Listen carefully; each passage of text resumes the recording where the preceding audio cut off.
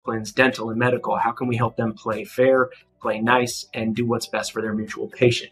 And I spoke up at this meeting and it seemed like it was well received, but in my opinion, uh, from the perspective of reaching out to patients in your community through paid marketing strategies, that is the number one way that you are going to shift the minds of the medical community, and that is through patient awareness. When the patient goes and they see their primary care, and the primary care brings up that, hey, like I believe you have some some some indicators of obstructive sleep apnea. Um, you know, we're going to do a sleep test, and I want to put you on CPAP if it comes back that you do have obstructive sleep apnea.